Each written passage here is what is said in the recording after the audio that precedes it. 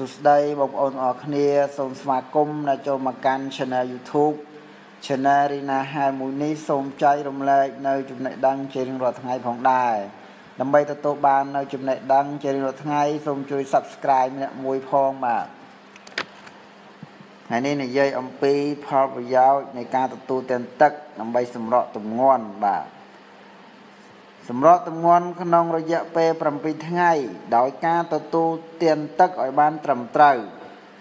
ការទទួលទានទឹកឲ្យបានគ្រប់គ្រាន់មិនត្រឹមតែធ្វើឲ្យរាងកាយមានសុខភាពល្អប៉ុណ្ណោះទេថែមទាំងជួយលើកកម្ពស់ធម្មពលឲ្យមានប្រសិទ្ធភាពនិងជួយសម្រក់ទម្ងន់ផងដែរ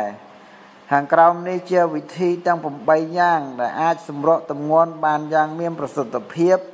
ដោយគ្រាន់តែទទួលទានទឹកឲ្យបានត្រឹមត្រូវតាមពេលដែលបានចែង1ទឹកកែវដំបងផឹកបន្ទាប់ពីភ្ញាក់ពីគេងបន្ទាប់ពីក្រោកពីគេងនៅម៉ោង7ទៅ8ម៉ោងរាងកាយនឹងខ្សោះជាតិទឹកដូច្នេះអ្នកត្រូវផឹកទឹកក្តៅមួយកែវបន្ទាប់ពីភ្ញាក់ពីគេងនេះជួយធ្វើឲ្យប្រសើរឡើងនៅការរំលែកអាហារនៅក្នុងរាងកាយបំបត្តិ ក្បឿនជិះវៀងអាហារនិភ័យការទល់លាមកនឹងជួយដុតបំផ្លាញចិត្តខ្លាញ់ឲ្យមានប្រសិទ្ធភាពកែវទឹកទី2ទទួលទាននៅម៉ោង9ព្រឹកបន្ទាប់ពីញ៉ាំអាហារពេលព្រឹករួចការផឹកទឹកមួយកែវជួយសម្អាតមាត់និងជំរុញការរំលែកអាហាររាងកាយធ្វើឲ្យមេតាបូលីស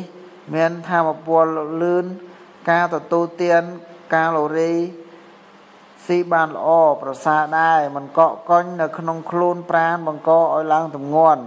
កែវទី3នៅម៉ោង11:30នាទីកែវទឹកទី3ថ្ងៃគូតែត្រូវទទួលទានមុនអាហារ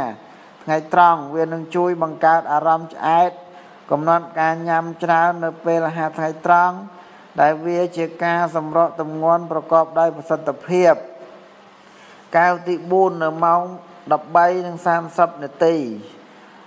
ទឹកមួយកែវពេលរសៀលនឹងធ្វើឲ្យអ្នកញាក់ដឹងខ្លួនដើម្បីចាប់ផ្ដើមធ្វើការទន្ទឹមនឹងនេះដែរនឹងជួយជំរុញចលនាក្រពះពោះវេននិងកាត់បន្ថយបន្ទុកលើក្រពះជៀសវាងរាងកាយប្រមូលផ្ដុំចំណីអាហារ ឬសារធាតុចិញ្ចឹមដែលងាយបង្កជាខ្លាញ់ក្បាលពោះ កែវទឹកទី5នៅម៉ោង15:30នាទីនេះគឺជាពេលវេលាដែលយើងនឹងជួបប្រទះការក្លៀនអាហារនិងផឹកទឹកមួយកែវនៅពេលនេះនឹងជួយកាត់បន្ថយចំណង់អាហារខណៈពេលដែលលើកកម្ពស់ការបន្សាបចិត្តពុលនៃពោះវៀនតូច និងរំញោចស្មារតីស្រស់ស្រាយនិងប្រុងប្រយ័ត្នកែវទឹកទី6នៅម៉ោង17:30 ការទទួលទាន ទឹកនៅពេលនេះអាចជួយកាត់បន្ថយភាពអត់ឃ្លាន និងកាត់បន្ថយភាពតានតឹងបន្ទាប់ពីការសិក្សាអស់រយៈពេលមួយថ្ងៃពេញមួយថ្ងៃកែវទឹកទី7នៅម៉ោង19នេះជាពេលវេលាដែលឈាមរត់មានប្រសិទ្ធអតិពលបំផុត ការទទួលទានទឹកកែវនៅពេលនេះនឹងជួយជំរុញចរន្តឈាម ក្នុងរាងកាយបង្កើត ប្រសិទ្ធភាពបន្សាបចិត្តពុលលើសពីនេះ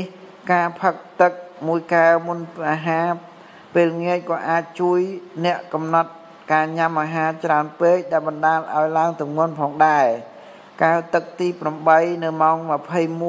21ផឹកទឹកមួយកែវប្រហែល1ទៅ2ម៉ោងមុនពេលចូលគេងដើម្បីជួយជំរុញចរន្តឈាម ជាលទ្ធផលអ្នកក៏អាចគេងលក់ស្រួល និងការពារខណៈចិត្តទឹកមុនពេលគេងលក់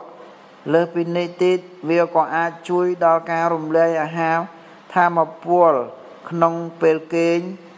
ជួយការពារនិងប្រមូលផ្ដុំចិត្តខ្លាញ់ចិត្តខ្លាញ់លើសផងដែរបាទអញ្ចឹងសូមអនុវត្តទាំង8ប្រការនេះនឹងធ្វើឲ្យយើងសម្រក់ទម្ងន់បាទ អត្ថប្រយោជន៍នៃការទទួលទានទឹកបានល្អ